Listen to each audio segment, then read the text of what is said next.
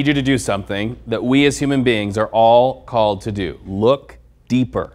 See past the picture in front of you and see into the heart, this time of a little boy who cannot speak for himself. I want you to get to know my new friend. This is Leland. He's this week's Wednesday's child. And when you look deeper, see if you can see something special in his eyes.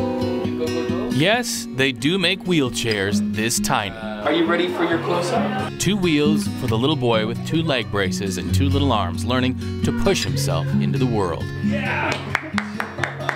A world that hasn't always been kind to one of the smallest among us. He came into care when he was six months old, and he's never really had that feeling of family. Emery is Leland's caseworker, and today she's his voice in the world. She says two year old Leland has proven everybody wrong. It's just showed me the resilience of a child spirit, and I think Leland is the embodiment of that. He encompasses that, that um, all children just want love and they want a home and a family and to thrive.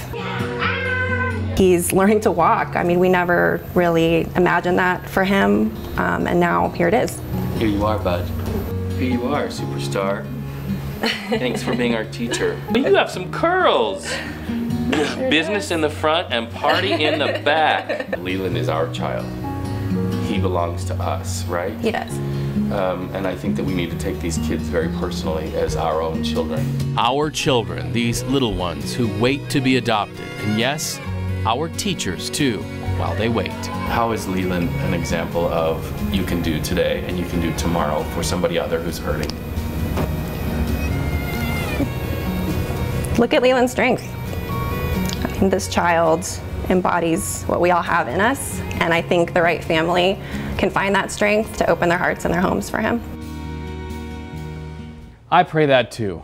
To learn more about Leland and any of the children we feature on Wednesday's Child, go to our website, news3lv.com. From there, we will direct you to our friends at the Adoption Exchange and let you know that all the myths you hear about adoption, most are not true. It's not difficult to adopt, and it is life-giving for children. And God bless all the wonderful people that take care of them Yeah. in the interim, too. Yeah, Tell and their just, hearts. And you know, you see how he came into care at the age of six months, how far he's come.